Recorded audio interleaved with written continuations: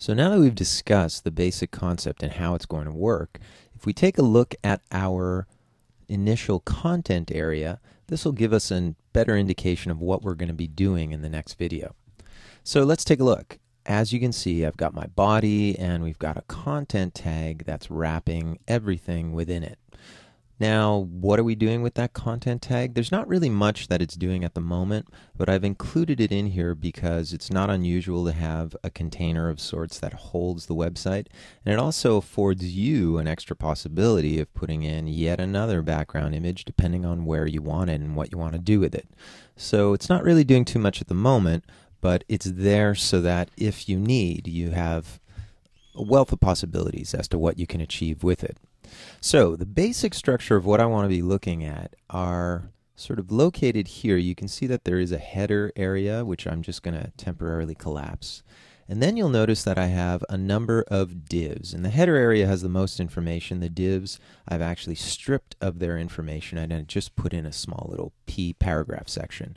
In order for this thing to work, however, it's important that each of your sections actually has a good deal of information within it. And You'll even notice that in this particular example, I've actually taken some liberties to utilize the CSS to make things a little bit larger than they normally would be. But that's just another aesthetic criteria that you know you can choose whether or not you want to embrace. So as you can see here, we've got individual divs sections, and these divs are being used so that we can work with them as individual sections. Now, even in the header, which I still have some information here, the basic information is still the same. It's still sound, in other words. And basically, what it looks like is something similar to what you see right here. Within the open header, close header area that I have here, the header is given a class of scroll item. And the CSS to see what scroll item is going to do, we'll take a look at a little bit later. But I just want to look at the basic structure of the HTML page. So within this header called scroll item class and it has an ID of section 1. Let's take a look at the other ones. Same thing, class scroll item ID section 2, scroll item section 3, scroll item 4 and 5. So they're all exactly the same. It's just the content we're putting in them that is a little bit different.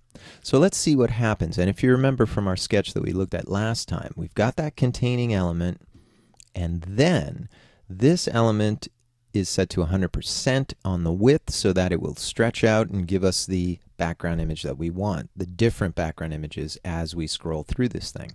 Within the thing is the article with the class called mod in this case, and if you remember, articles are going to be set to 960 and centered in the page so that even on a very, very large canvas or large screen resolution, we'll still have the article centered while the background image is going to take up the entire area of the browser.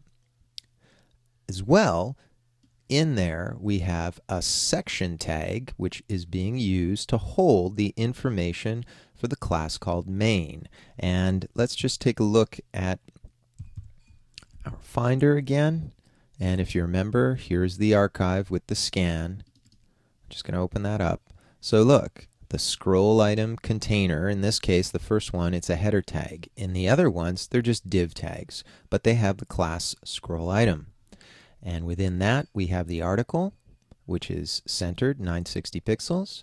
And in the first one, we have navigation and the main class area, but the other ones just has the main class area. All right, so now that we've understood a little bit, we visualized it once again, I'm showing it to you in code. So here, the section with the class called main has a H2 and couple of paragraphs and stuff like that, and then we close that section. Within that section, is the information that I just illustrated. However, right next to it in the first area is the nav tag. And as you can see here, I'm just going to spread that out a little. In the nav tag, we have an unordered list with list items. Okay, so within that is the article tags, or there they are. And here is our header tag. So you see the nested sort of scenario that we're working with in here with a section and the nav.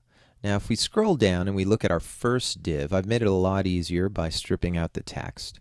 And what you'll see here is, again, the same basic structure. A section with the information, and that's going to be on the right-hand side. The article that holds it in order to center it on the page. And finally, the div with the class scroll item and its own individual ID is holding all of that information. So there is the HTML structure that we're going to be looking at and working with in this particular instance. Let's come back and when we do, in the next video, I'm going to explain a little bit about how the jQuery is going to work for this, as well as what we're going to be doing with our CSS styles.